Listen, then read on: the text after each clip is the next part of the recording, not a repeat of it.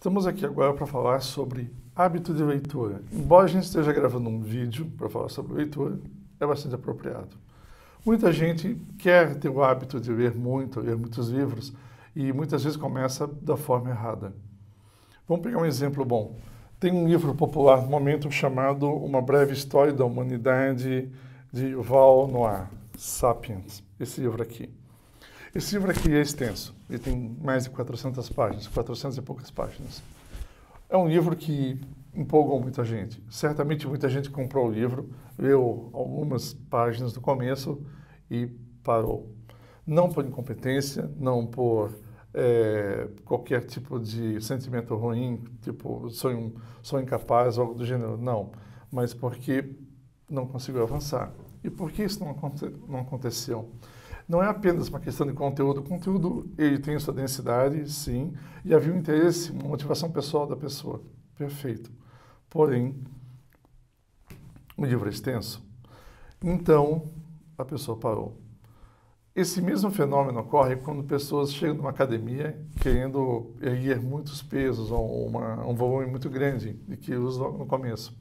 Não vai dar certo.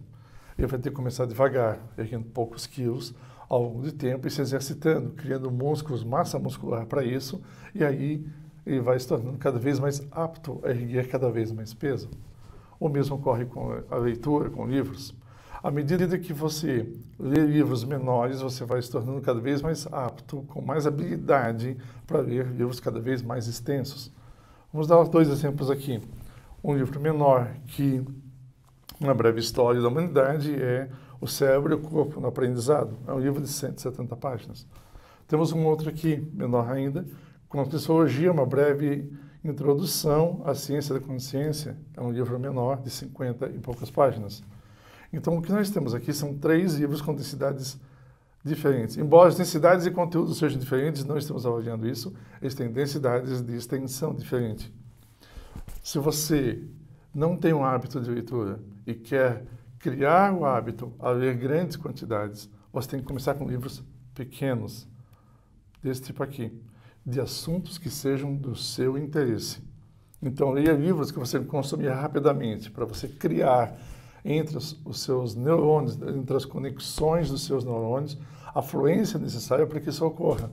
O teu cérebro funciona da mesma forma que os teus músculos funcionam eles precisam ser exercitados em questões muito específicas para que tenha aquela fluência que você tem quando você é um frequentador de academia ou você é um autoafilista, enfim, você tem é, esse tipo de habilidade.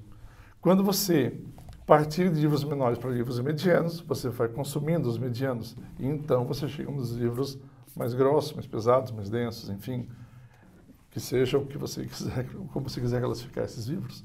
Mas o ponto que eu estou botando é, o cérebro, a massa cerebral funciona da mesma forma que a massa muscular.